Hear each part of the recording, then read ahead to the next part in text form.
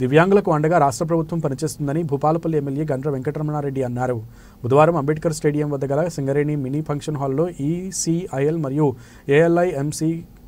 CSR నిధులతో ఐదు వందల ముప్పై ఆరు మంది దివ్యాంగులకు సహాయ పరికరాల పంపిణీ కార్యక్రమాన్ని జిల్లా కలెక్టర్ భవేష్ మిశ్రాతో కలిసి జ్యోతి ప్రజ్వలన చేసి ఎమ్మెల్యే ప్రారంభించారు. ఈ కార్యక్రమంలో జిల్లా గ్రంథాలయ సంస్థ chairman Burra Ramesh municipal chairperson Shrimati Venkatarani vice chairman Kotha Haribabu ECIL సంస్థ నుండి వేణుబాబు సీఎంఓ భవానీ శంకర్ డీజీఎం షాకీర్ అల్లం కోడ్ నుండి Rajesh senior manager CPO Samuel BC సంక్షేమ శాఖ అధికారి శైలజ జిల్లా వైద్యారోగ్య శాఖ అధికారి శ్రీరామ్ ఫ్యాక్స్ చైర్మన్ మేకల సంపత్ జడ్పీటీసీలు స్థానిక వార్డు కౌన్సిలర్లు జిల్లా వికలాంగుల అధ్యక్షులు లింబాద్రి స్థానిక ప్రజాప్రతినిధులు లబ్ధిదారులు పాల్గొన్నారు.